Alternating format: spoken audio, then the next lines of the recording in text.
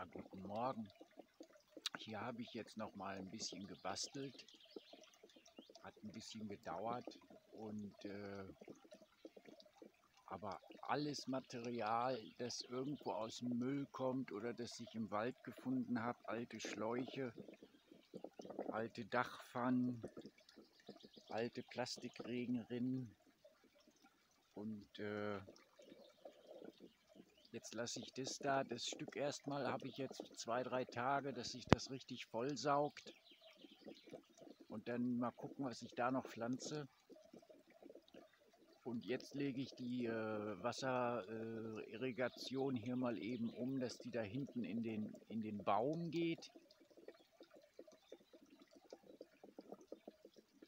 Und die Bohnen sehen jetzt auch gut aus. Die fangen also jetzt auch an, die ersten Bohnen zu machen. Kartoffeln.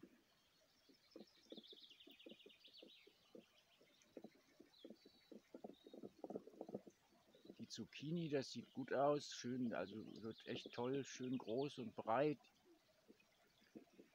Die oben sind ein bisschen, sind noch ziemlich klein. Aber hier unten, das habe ich auch schon mehr dran gearbeitet. Da ist der Boden äh, reicher, da ist der Boden ein bisschen besser. Und ich hatte zwischenzeitlich auch noch mal so eine, ja, wie sagt man, so ein Biodünger. Ein paar Hände voll reingeschmissen überall. Ja, Salate habe ich fast alle gegessen. Dann muss ich jetzt warten, dass das wieder nachwächst.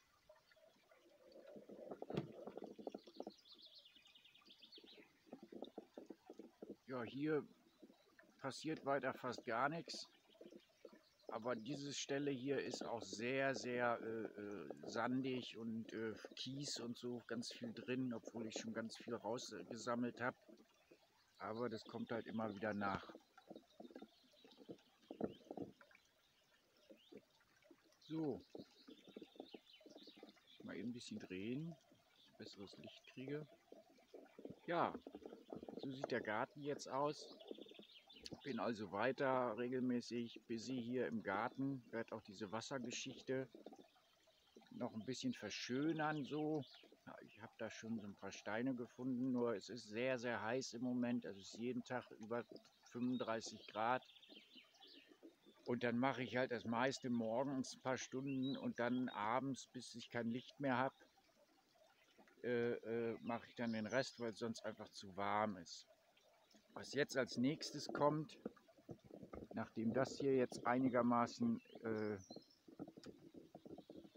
geregelt ist, ist dann halt dieser kleine Damm, den ich da jetzt neu wieder machen will. Wie gesagt, ich mache das, habe das, bin ja jetzt schon sieben Jahre hier. Eigentlich sollte ich ja gar nicht mehr hier sein, aber bin ich ja nun normal. Das muss ich halt jedes Jahr neu machen, weil wenn dann hier ein großer, schwerer Regensturm ist, wofür die Region ja bekannt ist, die Zervennen, dann äh, geht das halt immer wieder kaputt. Ja, der Hund, der nervt im Moment. Ich weiß auch nicht, warum der so nervig ist im Moment. Vielleicht ist irgendwo was läufig. Ja, da werde ich jetzt halt, das ist halt hier die Wasserleitung, alte, so eine alte Wasserleitung, die ich mal irgendwo gefunden habe.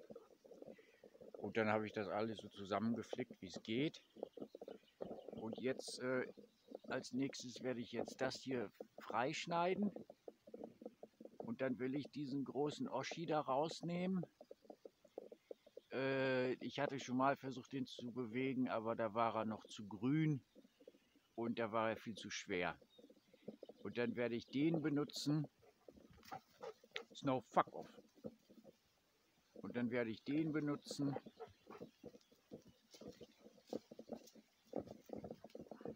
Um, hier einen kleinen Damm zu machen.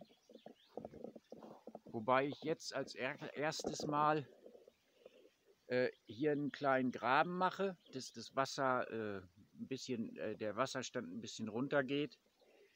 Dann, das wird aber locker mal zwei Tage, denke ich, dauern, weil das so äh, fest ist. Dann schippe, mit der Schippe bagger ich das dann hier alles wieder aus. Dann kommt der, dann kommt der, äh, der Stamm da rein und von hinten fülle ich das dann auf, schütte ich das dann auf, um das richtig einzukeilen mit, mit diesen ganzen Steinen, die hier noch liegen. Und das hatte ich alles schon mal. Dann, wenn sich das jemand für interessiert, einfach mal durch die älteren Gartenvideos gucken vom letzten Jahr oder vorletzten Jahr. Äh, da sieht man das dann. Aber ich finde das auch ganz lustig, weil das halt jedes Mal ein bisschen anders aussieht, weil dann halt viel Zeug äh, einfach wegschwimmt, wenn, äh, wenn hier so ein großer Regensturm ist. Ja, da oben habe ich sauber gemacht alles. Weiß nicht, wie viel man davon jetzt sieht, weil ich jetzt die äh, Selfie-Kamera benutze. Besser aus irgendeinem Grund. Und der Schlauch, der liegt halt einfach oben im Bach. Habe ich nur so einen Stein drauf gemacht, dass sich das nicht bewegt. Und da muss ich auch noch was dran machen. Da muss ich jetzt einen Filter mal machen, weil das sonst immer schnell verstopft mit Blättern und so. Aber da habe ich mir schon was überlegt. Das mache ich mit einer alten Kaffeedose. Ja, das nur mal so als kleinen Update vom Garten. Und ansonsten alles beim Alten so ein bisschen.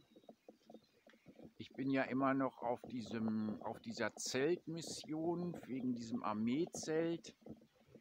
Und da, ja gut, da habe ich jetzt seit gestern Neuigkeit. Äh, und zwar habe ich das jetzt für denselben Preis. Also ich, es gibt dort ein, eine Art äh, Armeeladen. Der ist in Isère. Das ist ziemlich weit von hier. Da ist nochmal die Zitronella. Und hier muss ich noch, will ich noch das, äh, die Erdbeeren, da will ich jetzt noch ein bisschen dran rumbasteln, dass die ein bisschen mehr Platz bekommen. Das ist im Isère das sind so 400 Kilometer von hier. Also hin und zurück 800. Und äh, das hatte ich schon mal gesehen, diesen, die Webseite. Und, äh, aber da war das Zelt dort noch wesentlich teurer. Äh, sollte 1600, 1700 Euro kosten. Und dann äh, bin ich durch Zufall mehr oder weniger dann nochmal auf diese Seite gegangen, weil halt dasselbe äh, Zelt, das ich jetzt gerne ja hier kaufen würde, hier in der Nähe, aber die, äh, die haben keine mehr auf Lager, auch schon ziemlich lange und äh, ich also die wissen auch nicht, wann sie wieder neue kriegen. Jetzt stellt sich die Frage, nachdem der andere Laden jetzt 300 Euro fast runtergegangen ist mit dem Preis, würde es sich natürlich lohnen und irgendwie da jemanden zu finden, mit dem ich da hinfahren kann, um das abzuholen. Aber ich muss auch sagen, vom Geld her wird das knapp.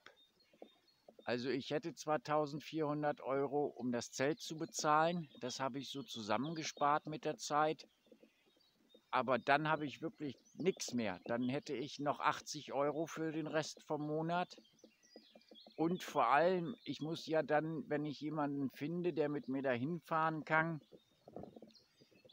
ich muss dem ja auch ein bisschen Kohle geben. Vor allem den Diesel und so bezahlen. Und das ist halt hier wie in Deutschland. Hier ist der Diesel noch ein bisschen billiger als in Deutschland, habe ich gesehen. Aber es ist äh, 1,80 Euro oder so jetzt inzwischen. Mein Gott, 3,60 Mark für, für einen Liter Diesel, das ist Wahnsinn. Ja, und äh, ich hoffe halt immer noch, dass der Laden, der hier in der Nähe ist, es wieder kriegt.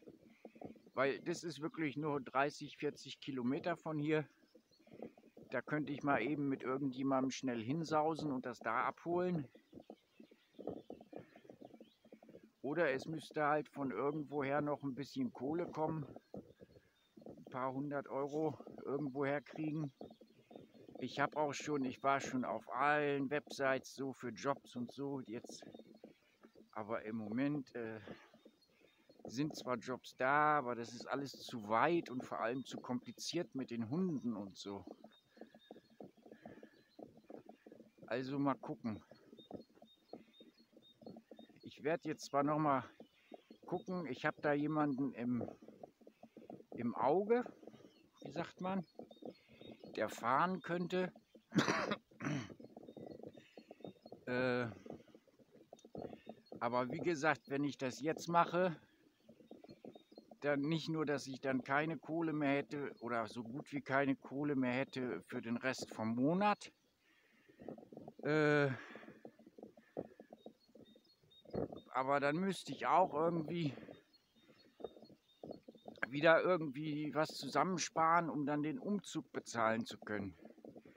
Also, und im Moment, ich habe jetzt äh, beim letzten Mal einkaufen, äh, habe ich für was ich sonst immer so 40 Euro Einkauf bezahle, einen Rucksack voll. Das kostet inzwischen 60 Euro. Einmal einkaufen. Und, äh, und ich habe ja noch Glück, ich habe ja keine Rechnung oder ich habe auch keine Kredite, die ich bezahlen muss oder so. Also äh, wie die Leute da, die normalen Leute das machen die irgendwo in der Stadt wohnen und vielleicht noch Kids und alles haben. Keine Ahnung. Auf alle Fälle ist das ganz schön abgefuckt alles. Ja, das ist Ipume. Der fängt jetzt so langsam an hier äh, Blüten zu machen. Das ist so lila das Zeug. Und angeblich, ich weiß jetzt aber nicht, ob ich die richtige Varietät dafür habe, wenn die dann anfangen Samen zu machen, diese Samen sind wie naturelles LSD. Äh, also psychedelisch. Habe ich aber noch nie ausprobiert. Ja, das hier weiß ich gar nicht, was das ist. Hier habe ich noch mal eine kleine Blumenbepflanzung gemacht auf die Schnelle. Und halt immer weiter, immer weiter mit der Motorsense. Da meine fast Hecke. Ist halt ein Zaun mit drin. Ich, ich gieße das auch immer mit, dann wächst das über, weil ich mag das nicht so, wenn man die Zäune so sieht. Ja, gibt immer genug zu tun hier. Wenn man so lebt wie ich, hat man immer viel zu tun. Okay, das war jetzt nur einfach so ein kleines deutsches Video. Jetzt gehen wir auch nicht noch erst noch hier in den oberen Garten. Da stehen auch nur Bohnen rum und, und der Salbei und die Gojis, die man auf anderen Videos aussehen kann. Aber naja, okay. Also das jetzt für meine, meine deutschen Abonnenten. Und äh, immer schön meine Videos teilen auf euren sozialen Netzwerken, auf denen ihr so seid. Und gerne auch mal ein Like unter einem Video lassen. Weil mir ist aufgefallen, gucken sich zwar Leute meine Videos an, aber keiner liked sie. Oder ganz selten mal jemand. Ansonsten lasse ich wieder mein äh, E-Mail unter diesem Video mit dem Kontakt. Und ich lasse auch jetzt immer mal mein IBAN unter den Videos. Falls jemand Lust hat, mal ein bisschen Geld mit mir zu teilen, das wäre toll. Außerdem habe ich auch noch eine Ankündigung zu machen. Ich habe also äh, lange darüber nachgedacht, ja, so ein autobiografisches Video zu machen oder mehrere, weil ich halt keine anständige Kamera habe und das alles mit einem alten Telefon mache, äh, kann ich das immer nur ungefähr so maximal 20 Minuten Videos machen das, sonst kackt das Telefon ab. Und außerdem dauert das dann, ist zu lange, äh, das hochzuladen, weil ich halt äh, nur einen geborgten Internet-Dongle habe und das alles über das Mobilfunknetz hochgeladen werden muss. Aber ich bin jetzt dabei, jetzt mal so ein autobiografisches Video zu machen. wo ich dann auch so ein bisschen über meine Kindheitstraumata sprechen will und die Zeiten, die kommen fast 13 Jahre in den westdeutschen Horrorkinderheim, wo ich gelebt habe. Und aber ich weiß noch nicht, wann jetzt. Also ich arbeite da dran, ich schreibe mir immer mal Sachen auf und so, weil ich dann auch das äh, ein bisschen anständig machen will. Und ich werde vielleicht die erste Serie in Englisch machen, weiß ich noch nicht, weil ich halt auch, äh, ach ja, hatte ich ja auch schon mal gesagt, ich bin jetzt auch auf Twitter. Bin ich eigentlich nur hingegangen, damit ich ein paar mehr Klicks auf meine Videos kriege auf YouTube und äh, bleibe ich jetzt mal ein bisschen. Und dann äh, werde ich also diese autobiografischen Videos wahrscheinlich erstmal in Englisch machen, weil ich halt fast nur englischsprachige Kontakte habe. Und nur noch ein ganz paar deutsche Kontakte und noch weniger deutsche Kontakte, die kein Englisch verstehen. Okay, damit sage ich euch jetzt Tschüss bis zum nächsten Mal.